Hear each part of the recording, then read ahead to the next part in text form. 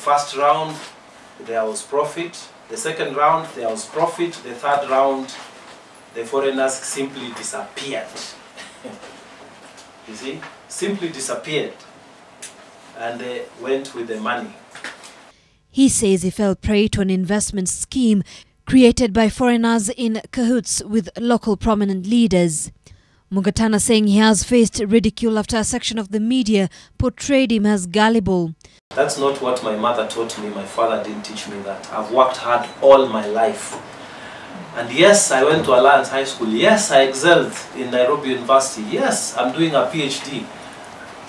But an accident can happen to anyone, the best of us. Anything can happen. Back in the court, the accused fraudster Abdullahi, however, denied the allegations. He was released on a bond of 5 million with an alternative of 3 million shillings cash bail with two sureties. The case will be mentioned on the 29th of October 2018.